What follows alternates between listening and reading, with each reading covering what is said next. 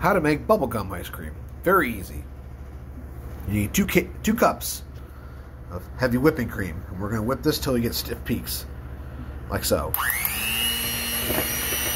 We'll be back when it gets nice stiff peaks. It's the other stiff peaks. Next, you need one can of sweetened condensed milk.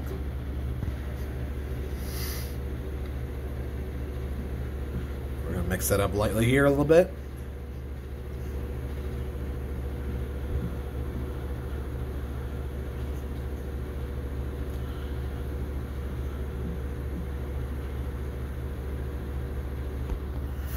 pour this out and uh, or scoop the rest of it out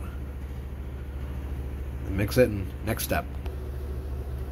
Next, you want to add in your flavor.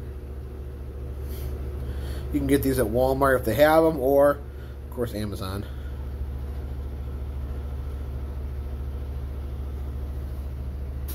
And after that, mix it all up a little more. Neon pink, of course. Again, Walmart mix it up and I'll show you in a bit in a second. Alright, see how nice, pink, and fluffy it is, guys?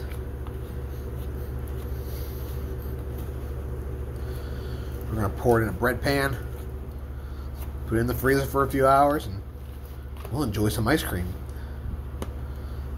There you go, some bubblegum ice cream. That's how you make it.